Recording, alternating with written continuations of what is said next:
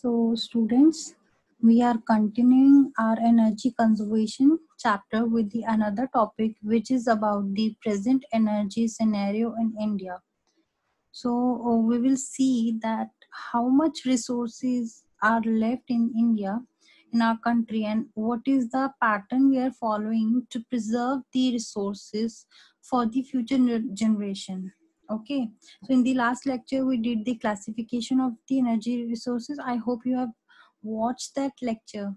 So let's start this topic.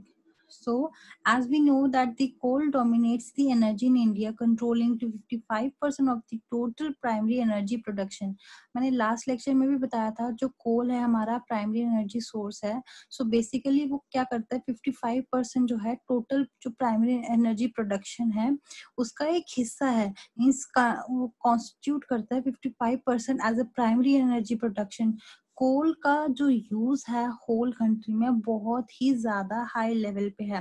As it is using in the thermal electrical electric power generating also और भी बहुत सारी चीज़ों में we are using the coal so over years there has been a marked increase in, a, in the share of natural gas in primary production from 10% to 13% इसकी production में in the year 1999 इसका means three percent increase हुआ था। From ten percent to thirteen percent it has been increase in the production so हमने क्या किया? तेज़ी से कोल को यूज़ करना शुरू कर दिया।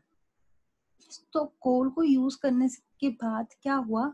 जो लोग, हम लोग ऑयल यूज़ कर रहे थे, वो उसकी प्रोडक्शन में थोड़ा सा गिरावट आई। ठीक है? सो so, उसकी उसका गिरावट कितना था? उसका गिरावट भी थ्री परसेंट था from twenty percent to the seventeen percent same period में। मतलब नाइनटी नाइन में क्या होता है? कोल की प्रोडक्शन जो है वो बहुत ही ज़्यादा बढ़ जाती है मीन्स अबाउट थ्री परसेंट और जो हमारे ऑयल की प्रोडक्शन है वो क्या हो जाती है? Three percent reduce in the same year तो हम देखते हैं कि किन किन नेचुरल रिसोर्सेज का हमारे इंडिया में क्या क्या मतलब आजकल की प्रेजेंट डेट में क्या हमारा प्रोडक्शन और कंजप्शन है? Let's do first talk about the coal supply अब आपको पता है जो इंडिया में at least 84,396 million ton of means इतना तो हमारा जो रिकवरेबल रिजर्व्स है ना वो हमारे पास बचे हुए हैं in the form of coal ठीक है? ये जो डाटा है वो 2003 का है। ये डाटा 2003 का है। सो so, अब क्या है? ऑलमोस्ट ऑब्वियसली इस टाइम तक तो इसमें काफ़ी गिरावट आ चुकी है। सो so, ये अमाउंट जो है टोटल अगर वर्ल्ड की uh, हम लोग अगर इंडिया को वर्ल्ड की नज़रिए से देखें तो 8.6 कॉन्स्टिट्यूट करता है हमारे पूरे वर्ल्ड में ये डाटा कोल सप्लाई का। ठीक है? इतना रिसोर्स अगर हम देखें हमारे पास एज कंपेयर टू वर्ल्ड के अकॉर्डिंग हमारे पास है, जो हमारे पास अप्रोक्सीमेटली टू थर्टी ईयर्स तक रह सकता है। एंड अभी भी टू थर्टी में थोड़ी गिरावट आ चुकी है। As compare to the today's population we have reduced these years also इसमें थोड़ी गिरावट आ चुकी है। So at the current resources reserve to be production हमने बस ये चीज़ें याद रखनी है, कितना अमाउंट हम लोगों के पास as compare to world wide है and how many years it will retain to us ठीक है? अब in contrast to the world proven local reserves are expected to last only for 192 years. ये सिर्फ़ 192 years तक ही हमारे पास रह सकता है ये चीज़ें। ये एनालाइज किया गया था data and at the fourth हमारा जो इंडिया है वो फोर्थ लार्जेस्ट प्रोड्यूसर है किसका कोल का ये देखो I have written over here India is the fourth largest producer of the coal. It can be in the form of MCQ. They will ask the question that who is the fourth largest producer of the coal? Which country is the largest producer of the coal? You can say that it is India. And if, it, if they will ask that, um, kindly say that uh, if they will ask that which states of the India will produce the uh, will uh, help in the production of the coal. You can say that it is Andhra Pradesh, Bihar, Madhya Pradesh, West Bengal. These are the states.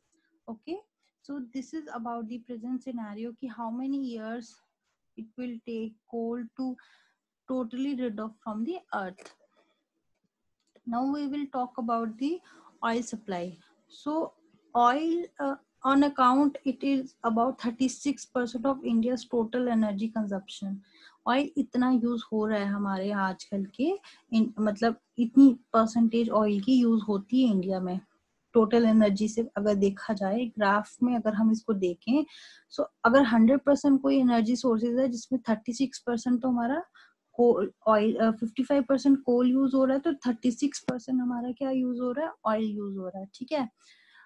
और आ, आज अगर आज की बात की जाए in today's scenario जो India है, वो टेंथ नंबर पे आता है as a oil guzzling nation in the world okay ये सून ओवरटेक कौन कर लेगा? कोरिया क्यों? Korea largest consumers of oil में आता है एशिया के आफ्टर चाइना एंड जापान ठीक है? ये ये चीज़ें याद रखना थर्ड नंबर पे लार्जेस्ट कंज्यूमर कौन है ऑयल का?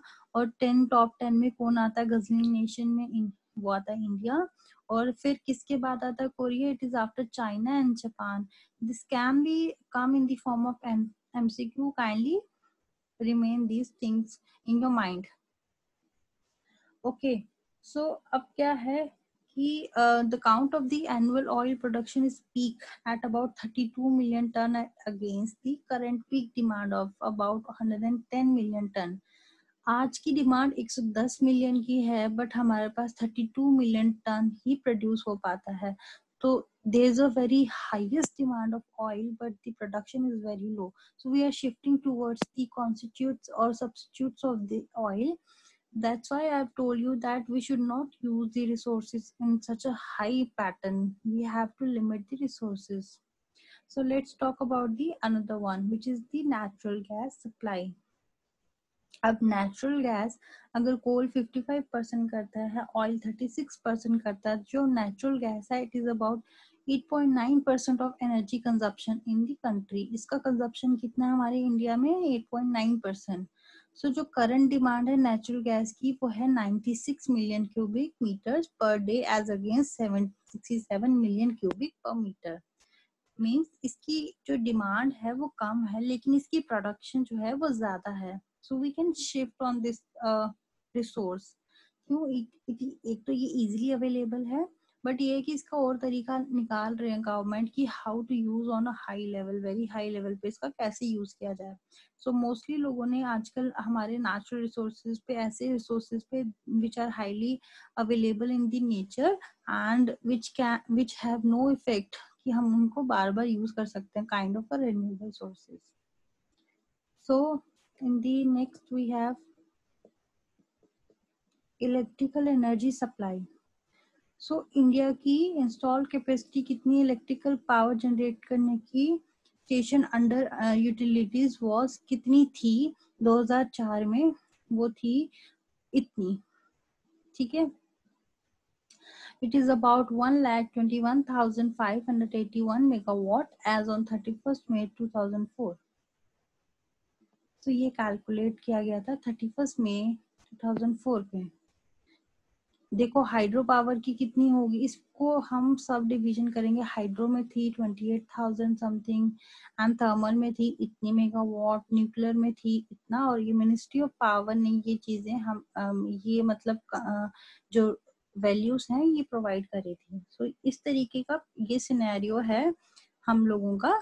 इलेक्ट्रिकल एनर्जी सप्लाई का। अब देखते हैं न्यूक्लियर पावर सप्लाई का। Although it is not in such a use but हम लोग फिर भी इस पे शिफ्ट हो रहे हैं धीरे धीरे तो ये 2.4 परसेंट हमारा कॉन्स्टिट्यूट करता है हमारे इलेक्ट्रिसिटी पार्ट को जनरेट करने में ओवरऑल इन कंट्री में। So india has 10 nuclear power reactor at 5 nuclear power station producing electricity so this is the part of the present energy scenario in the india you have to yeah the you have to uh, remember the terms and the values which I've written over here. So I hope you have understood the video.